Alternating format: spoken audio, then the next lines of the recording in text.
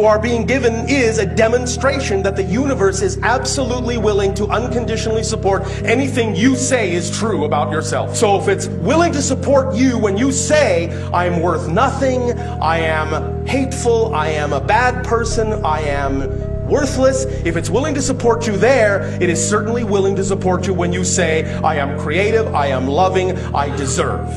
There is absolutely no difference in the eyes of creation, no contradiction whatsoever. And when you decide which one is true for you, there is nothing in existence that will contradict you. It will simply reflect whatever you have said is true about you at that moment.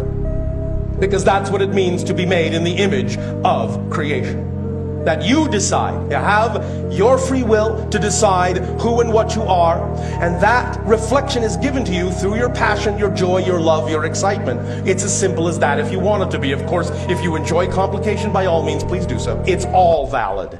And when it becomes all valid, when you do not judge this as being less than that, then paradoxically you will actually get what you prefer more often because you are not focused on trying not to get that. But if you are afraid of certain choices and devalue them, then you're actually devaluing a part of creation and you will only get the reflection that you are devaluing a part of yourself. What